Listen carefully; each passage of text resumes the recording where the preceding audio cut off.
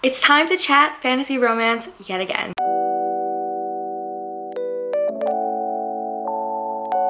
Hi, my name is Katie, and if you're new, welcome to my channel. This has been an ongoing series on my channel where I talk about fantasy romance books that I want to read. And these can just be books that were somehow put on my radar that I just discovered and that I want to add to my TBR at the moment. This is the fourth video in the series, so please go check out the other three videos because there are a bunch of great recs there. But I will say it's been a long time since I did the last video in the series, so I have so many recs stored up. And that being said, I have read some of these already because I found them a while ago and I'm like, I want to read that right away. And I read it before I made the recommendation for this video. So I will just indicate whether or not I have read the book yet when I start about it. And I think I'm going to start with all the books that I've already read. Um, but yeah, today I have 10 brand new fantasy romance recs to talk to you guys, tell you all about them and why I'm excited about picking them up. I just love fantasy romance so much as a genre and I really feel like especially with BookTok it is growing even more than it was previously. It's just I think a lot of people want those same elements that are make YA fantasy really popular but like leveled up to the adult audience with maybe more mature themes or spicier story, spicier scenes. So most of these books are probably categorized in the new adult category even though it's not like official. But fantasy romance can span from like YA all the way to adult. It just tends to be that the ones that I recommend will probably be more in the new adult range. And if I have read it and I know like the spiciness, I will also indicate that. Starting off, the first book that I want to talk about is Between Wrath and Mercy by Jess Weisskopf, and then the sequel, Between Despair and Hope. I think this is going to be a six book series if I'm not mistaken. This is just so amazing. I have read this one, haven't gotten to this one yet just because I've been super busy and I want to like really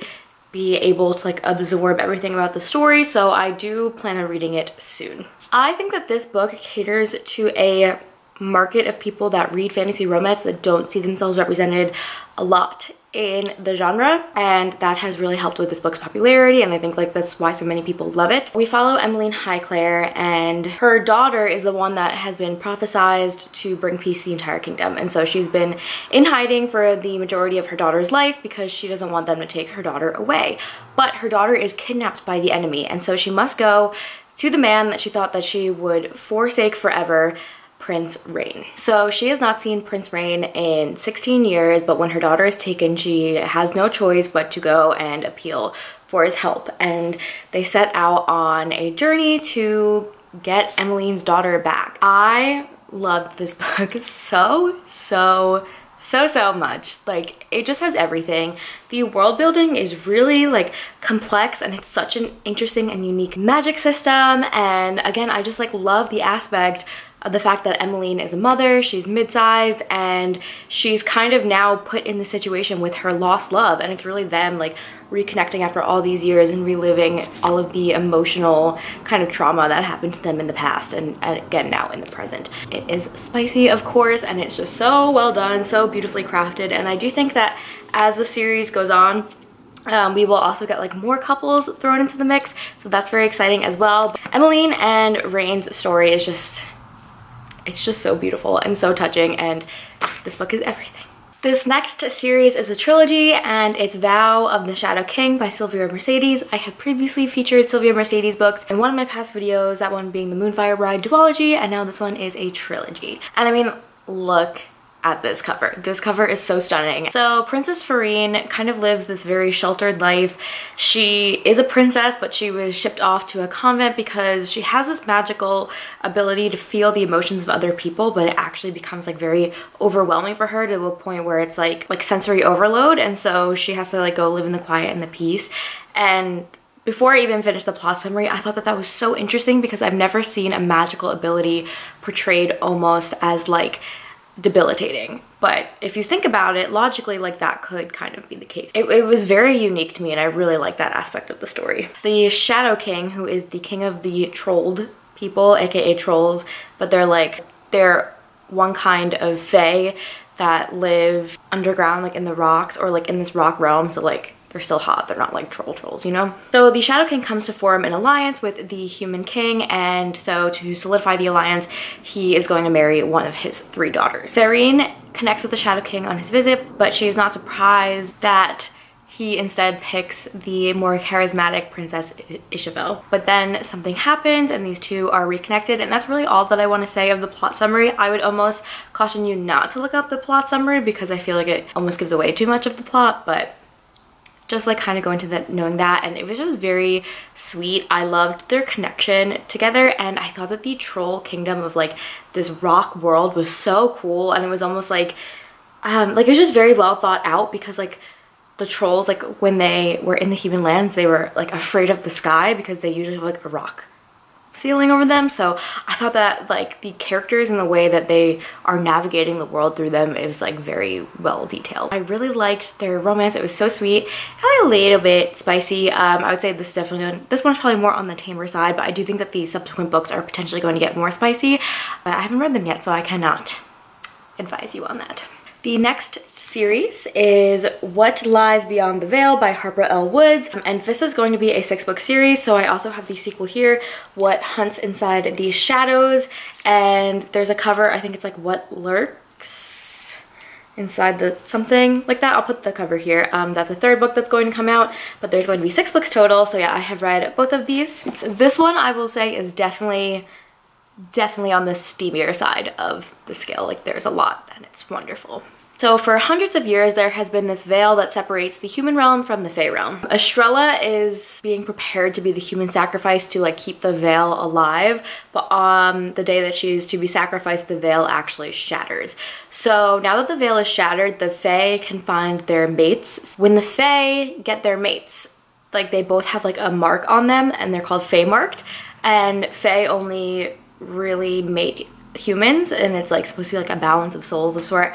Um, so when you are marked, then the Mistguard is going to hunt you down and kill you because when a Fae finds their human mate, like their powers are enhanced. So they don't want the Fae to become like enhanced. So they would rather kill the humans that are marked than like let them be with their Fae mates. Estrella is on the run after then being marked when the veil falls and she meets Caelum who is also marked and on the run and together they are escaping from the forces that hunt them whether that be the Fae or the Mistguard or the Sort and it is their journey.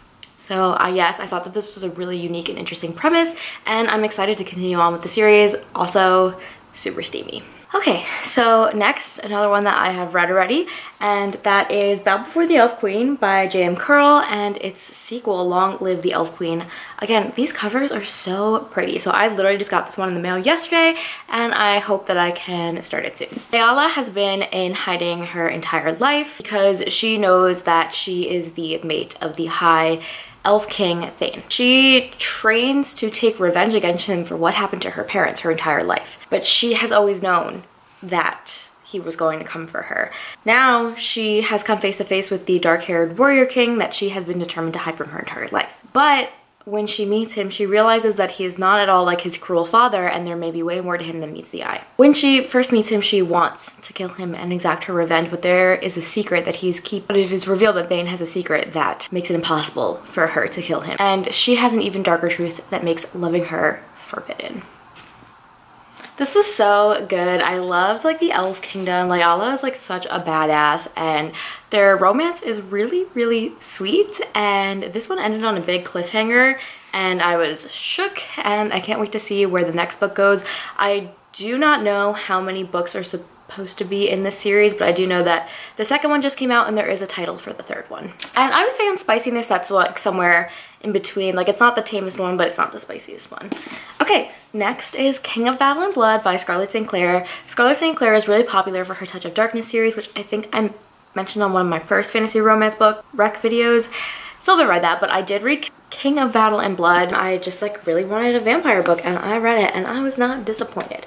Isolde will do anything to protect the people of her kingdom and so she enters into a marriage bargain with the vampire king Adrian. He is known to be ruthless and bloodthirsty. However, she takes on this assignment with an ulterior motive. She will kill him to free her people. But when this fails, Adrian warns that if she tries again, he will turn her into a vampire. Obviously, Isolde does not want to become the thing that she hates the most, so she finds other ways to defy him and to try and survive the brutal machinations of the vampire court. But what she ends up fearing most is Adrian and her intense attraction to him. As time goes on, he begins to become less of a monster to her. But despite their growing chemistry. Isolde can't help but wonder why she was chosen to be his consort, and the answer will change everything for her. This book did a thing I was not expecting and I thought it was really cool. The second book, Queen of Myth and Monsters, comes out in December, I think, and you bet I will be picking that up. Maybe even rereading this one because it was so good. Very smutty. I think I tabbed the smut on the top. So as you can see, there's a, there's a, it's very smutty and like delivered on the steam, delivered on the plot, loved it, loved it. And vampire, vampires, vampires. Okay, that is it for the books on the list that I have for you today that I've already read. And as you can see, I think it's more than half the list. So yeah, maybe I should make these more often is basically the moral of the story.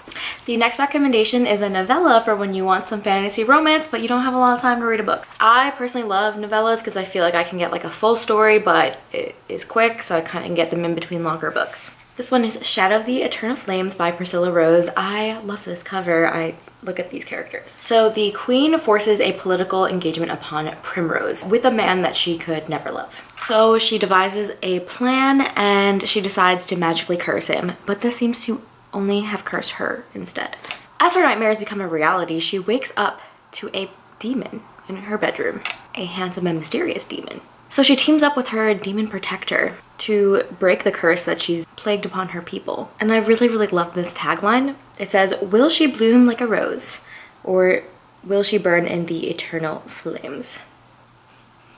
I love a good demon romance. Okay, next I have A Cursed Kiss and A Cursed Heart by Jenny Hickman, and these are the Myths of Airren book one and two. I think these follow two separate characters as well. Keelynn witnesses her sister's murder at the hands of an immortal creature who seduces women and kills them with a kiss. So she seeks out a vengeful witch to get everything she needs to resurrect her sister. But first, she must slay the creature that killed her. Tugged, I hope I'm saying that correctly, is a half-fae with no patience for high society. And he does not want to help someone kill one of his own until Keelynn makes him an offer that he cannot refuse. So they set off on a curse-breaking mission. Ooh. And yeah, I mean, look at this cover, it sounds so good. I love like the Okay, let's see the uh, tagline, because those are always fire. Living on an island plagued by magic and mythical monsters isn't a fairy tale. It's a nightmare. Yes, sounds so good. So excited to get to this one. Got a map. Oh, there's art. There's art. Look at that. I love when there's art in books. And the dedication is for my fellow romantasy lovers seeking an escape. I love that. Oh, there's art in the second one too. Boom. The High Mountain Court by A.K. Mulford. What's exciting about this book is I actually got it in Barnes & Noble. So most of the uh, indie romances are usually purchased through Amazon because they are on the KU program, but these indie romances have been starting to be stocked in Barnes & Noble and that just makes my heart so happy. Remy is potentially the last red witch alive and she has been spending her life fleeing from hunters. Northern Court King slaughtered her kind and put a bounty on her head. When she encounters the handsome Prince Hale of the Eastern Kingdom, he knows that he needs Remy on his side. He is trying to start his court from being wiped out just the same as Remy's people were. And he knows the help of a red witch can help him accomplish that. But can Remy really trust him? And can her fallen court be resurrected? And so for a chance to save her people, she must put her faith in Hale. Yes, it sounds so good. And I do think that this is going to be a series with multiple books. I think the second one might be out. I want to say most of these authors I follow on one form of social media or the other and they are all lovely. All wonderful people. Okay, this book is gigantic and I love it. Like the floppiness. This one's really cool because it's like many different perspectives. Also, I pre-ordered it and I got a bookmark, a map, double-sided map, and this cute little recipe card for berry pie. This one's really, really cool. It's like political fantasy romance. Tagline is a commoner turned noble, a queen cast aside, a lady half forgotten, a court filled with lies. So there are three main women that we are following. Marietta, who's a half-elven commoner, and she's abducted and forced into marriage with an elven lord. There's Valeria, who's a queen without power, and she's trying to undermine the husband she loathes for the legacy she craves. And finally, there's Elise, who is a lady with untold potential determined to remain unseen. In the kingdom of, you know, Menos, everyone is equal, but in Salogi, the elves rule over all, and this causes a conflict between the two kingdoms and war breaks out. And thus, Marietta, who is a half who's half elven, finds herself at the center of this conflict. So Queen Valeria learns of Marietta, and she digs into her past to use that past as a weapon to wield and a chance to dethrone the king. And then there is Elise, who lives in the shadows but is thrust into the light when her magical abilities are discovered. And all three will determine the fate of their kingdom. And it says, a queen's game blends fantasy, romance, and political intrigue for an unforgettable story that will leave you guessing until the end. The last series I have to talk about is the Bonds That Tie series. So the first one is Broken Bonds. These are by J. Bree, by the way. Then there's Savage Bonds, Blood Bonds, and Forced Bonds. So I just have the first four, but books five and six are out. So I will put them on the screen here. And this is a why I choose fantasy romance. So I feel like combining lots of different things that I like, you know? When Ollie's mother dies and as well as her bonded, Ollie can then find her own bonds. Was sure everything would be okay, but then it wasn't. She's been on the run for five years and she's caught and dragged back to face the men that she ran away from. She thought that she was doing the right thing, but now she's not so sure. And the fate of her people is in her hands and she knows that she's better off alone. I have seen so many raving reviews for this series and I mean these covers are absolutely beautiful. It just seems really, really intriguing and cool. And again, I will want to read this soon. Okay, and those are all of the series that I have to recommend today. Um, now that the weather is getting colder, I'm definitely like in my, oh my god, I want to read fantasy romance mood again. In the summer, I was like rom-coms, and now I'm like fantasy romance. So I am definitely going to be making more fantasy romance centered content, obviously starting with this video, um, but I also have some vlogs in the work. So I'm very, very, very, very excited to just like read all these books that I have been recommending. And, you know, I have some books that I still need to catch up on all of the series that I have recommended in other videos videos. So please check out my playlist. I will have it linked like above, below, wherever. Um, you can look on my channel page and you can check out all my fantasy romance related content. And um, let me know down below if you've read any of these series. If not, like which one sounds the most intriguing to you. And I hope that you check out these books and enjoy them when you read them. And with that, have some fun, read some books, and I'll catch you guys in the next one.